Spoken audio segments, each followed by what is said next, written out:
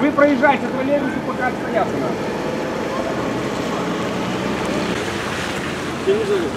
Спасибо. Понятно, давай, давай.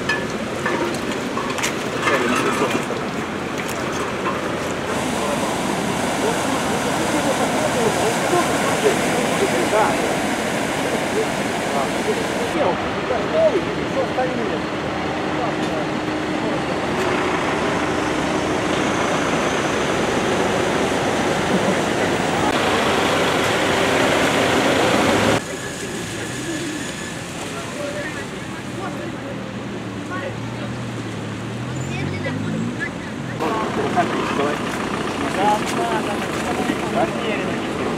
надо.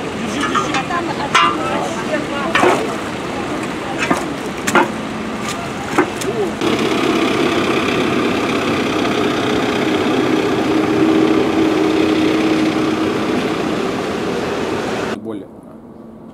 Наибольшая интенсивность дождя прошла в Ленинском и Заводском районах. Там объявлялся план реагирования на чрезвычайные ситуации, связанные с подтоплениями Посейдон. Зафиксированы на отдельных участках превышения уровня воды и затруднение движения общественного и автотранспорта. Наибольшее затруднение возникло возле улицы Кабушкина, однако около 7 часов вечера после очистки ремавтодором ливневой канализации при помощи тракторов, а, к слову, она была засорена мусором на поверхности, движение было полностью восстановлено.